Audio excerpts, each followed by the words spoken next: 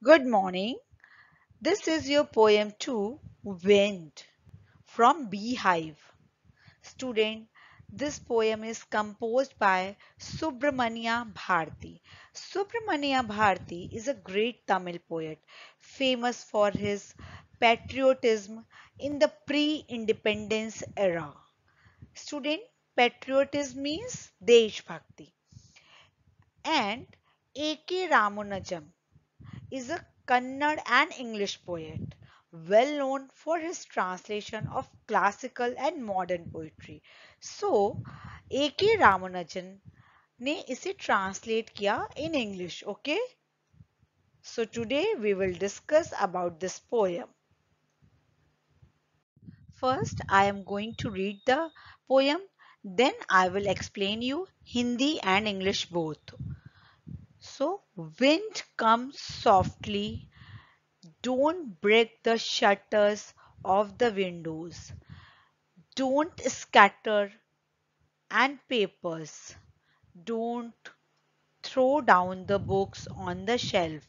There, look what you did. You throw them all down. You tore the pages of the books. You brought rain again. You are very clever at poking fun and weaklings, frail crumbling houses, crumbling doors, crumbling rafters, crumbling wood, crumbling bodies, crumbling lives, crumbling hearts. So student, you have to see how many times crumbling is used. The wind god winnows and crushes them all. He won't do what you tell him. So come, let's build strong homes. Let's join the door firmly. Practice to firm the body. Make the herd steadfast. Do this and the wind will be friend with us. Then wind blows out weak fires. He makes strong fires roar and flourish. His friendship is good. We praise him every day.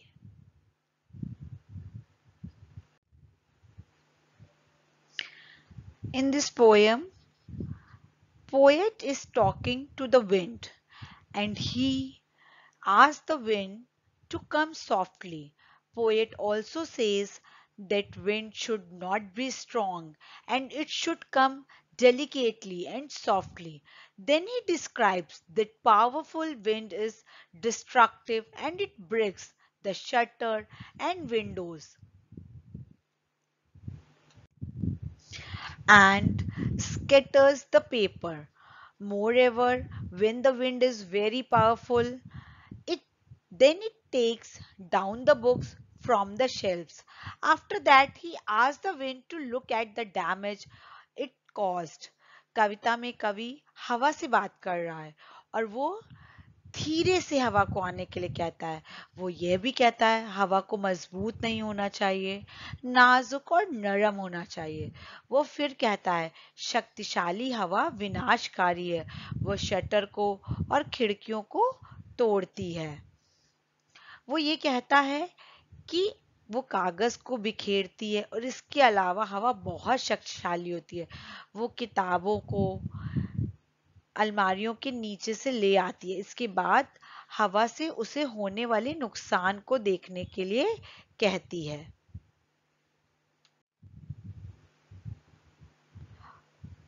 Further Whenever the wind is strong, all the weak things like plants, children, etc. get fearful and sometimes get hurt. In the initial part of the poem, the poet is referring to the wind as a young child. Firstly, he said that it comes softly as a child does. Later on, we come to know that it becomes destructive like a youth, full of energy, violence and destruction.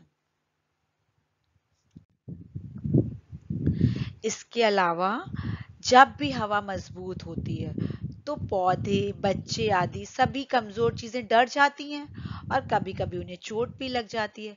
तो कविता के first part में कवि एक छोटे बच्चे के रूप में हवा का ज़िक्र कर रहा है। सबसे पहले वो धीरे धीरे आता है, जैसे एक बच्चा करता है ना, आपने देखा बच्चा धीमे से आएगा, फिर उसके बाद जब वो बड़ा हो जाता है तो उसके अंदर ऊर्जा ज़्यादा हो जाती है, हिंसा हो जाती है और विनाश, जैसे बड़े बड़े आजकल आप देखते हैं जो बच्चे यंग हो जाते हैं। है ना, यूथ हो जाते तो कैसे होते उनके गुस्सा बहुत ज़्यादा हो जाता है। तो उसी तरह। अब पोएट कहता है in this para poet continuously repeated the word crumbling I will also told you I also told you okay crumbling In the next para, he continuously repeated the word crumbling to lay stress that everything crumbs in the face of a strong wind. So the poet wants to say that everything breaks when the wind is very strong and powerful. He says that weak houses, weak doors, beams, wooden structure, bodies of people, animal, etc. all fall, fall in crumbles. In addition, everything which is weak reacts by breaking or falling down in the face of hardship. Hence, the poet says that whenever weak people faces and hardship or challenges in life, they fall or break down. Students इस para में आपने देखा कि कवि जो है क्रमलिंग शब्द को बहुत बार दोहराया है। वो कहता है कि तेज हवा के सामने सब कुछ गिर जाता है। कवि कहना चाह रहा है कि जब हवा बहुत मज़बूत होती है, बहुत ताकतवर होती है बहुत स्ट्रांग होती है तो क्या होता है? सब कुछ टूट जाता है। देखिए, आप देखिए, जितने भी तूफ़ान आते हैं साइक्लोन आते हैं तो कितनी कुछ बर्बादी हो जाती तो कहता है कि कमज़ोर घर, कमज़ोर दरवाजे क्रमलिंग डोर्स क्रमलिंग राफ्टर्स कमज़ोर दरवाजे, बीम, लकड़ी के ढांचे, लोगों के शरीर क्रमलिंग बॉडीज है ना? और लोगों के शरीर, जानवर सभी गिर जाते हैं, टूट जाते हैं। इसके अलावा सब कुछ जो कमज़ोर हैं उनके चेहरे पे टूटने या गिरने की प्रतिक्रिया दिखाई देती है। इसलिए कभी कहते हैं, जब भी भी कमज़ोर लोग सामना करते हैं और जीवन में कठिनाई या चुनौती है, देखिए, इससे हमें कवि शिक्षा दे रहा है कि चाहे जितनी भी कठिनाई आई तेज हवा मीन्स जितनी भी कठिनाई आए तो क्या होगा, अगर हम कमज़ोर होंगे तो हम टूट जाएँगे। जितनी भी कमज़ोर चीज़ें हैं, वो तेज हवा में टूट जाती हैं। तो हम अगर कमज़ोर होंगे तो हम छोटी सी भी मुसीबत से घबरा जाएँगे। और जबकि हमारे सामने वो मुसीबतें उस समय बहुत बड़ी होंगी, विशाल होंगी, हमें डराएँगी, पर हम टूट जाएँगे। तो वो ये कहता है कि हमें, वो इसमें एक हमेशा बेटा आप लिटरेचर में क्या होता है मैसेज होता है। है ना? तो मैसेज होता है। अब नेक्स्ट पैरा में देखिए हमें क्या कहता है poet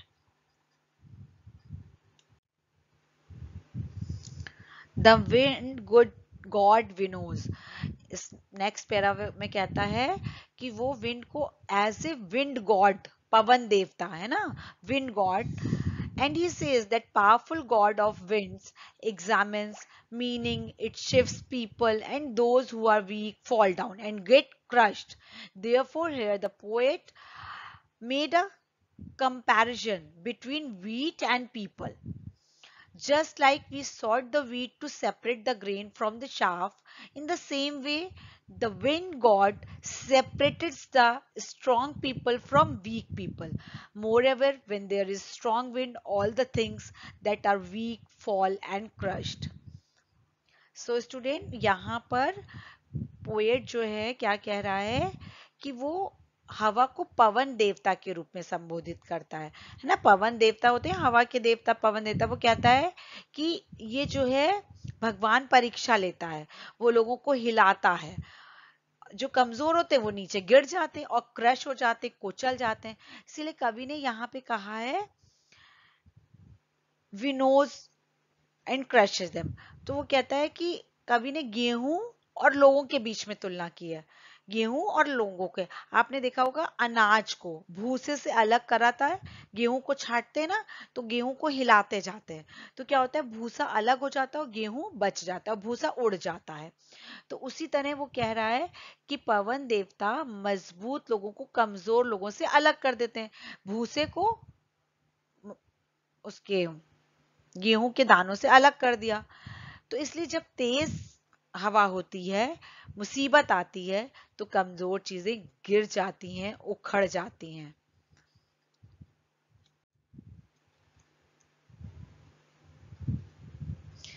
So come let's build strong home after that poet wants to make friends with the wind वो कहता है कि हवा को दोस्त बना लो। That is the hardship in our life he says that we should be ready for the problems as they will come and will not listen to us. उन्होंने कहा कि हवा को दोस्त बना लो। मतलब जो कठिनाइयाँ हैं, उनके साथ जियो। ठीक है? तो वो कहता है also we should build strong homes and close the doors of our house firmly so the wind can not enter them moreover the poet says that we should make our heart and bodies strong to face these challenges. And when we are enough to face challenges then we will not be feel troublesome so so, student उसके बाद कवि चाहता है कि हम हवा से दोस्ती कर लें यानी हमारे जीवन में कष्ट कष्ट से हम दोस्ती कर लेते हैं। इट मीन्स कि वो हमें समस्याओं के लिए तैयार रहना चाहिए, क्योंकि वे आएँगे, हमारी बात नहीं सुनेंगे। इसके अलावा हमें और क्या करना चाहिए? हमें मज़बूत घरों का निर्माण करना चाहिए, अपने घर के दरवाजों को मजबूती से बंद कर लेना चाहिए, ताकि उनमें प्रवेश ना कर सके। इट मीन्स कि कवि कहता है, हमें इन चुनौतियों का सामना करने के लिए घर का मतलब अपने को, क्योंकि हम ह्यूमन बीइंग से कंपैरिजन कर रहे हैं। घरों को भी ह्यूमन बींग से, कि जैसे हमें अपने घर के दरवाजे, खिड़कियों को मज़बूत रखना चाहिए मतलब हमें अपने आप को, अपने दिल को और अपने शरीर को मज़बूत रखना चाहिए to firm the body make the heart steadfast और जब हम चुनौतियों का सामना करने के लिए मज़बूत हो जाएँगे तो हमें कोई भी परेशानी फेस नहीं करनी पड़ेगी। To this and the wind will be friend with us okay अब वो क्या कह रहा है? Let see poet says he keeps the wind he keeps the wind on a pedestal and comparing in it god it to the god. The poet says that wind is a god and we praise it daily. He also adds that everything that is weak gets over in the face of the strong wind. In addition, all the things that are strong flourish and grow stronger.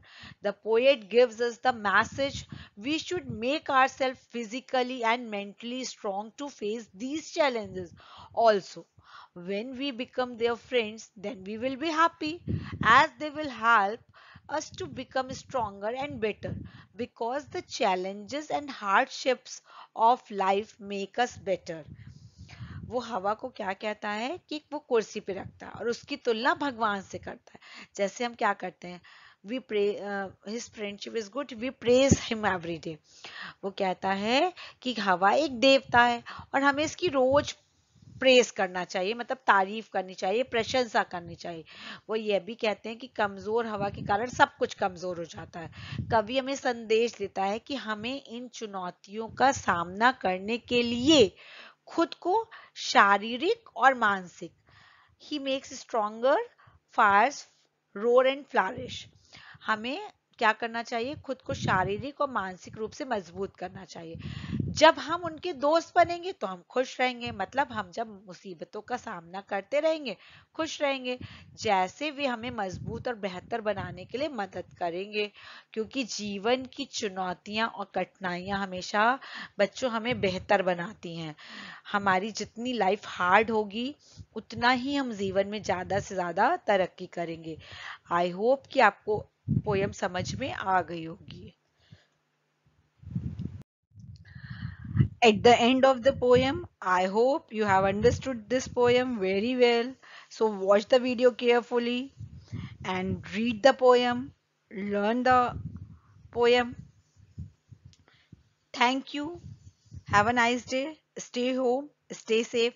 And one thing you have to remember that you have to do the question answer of this poem. I am sending you a notes also. Okay. So you have to do the question answer in your copy.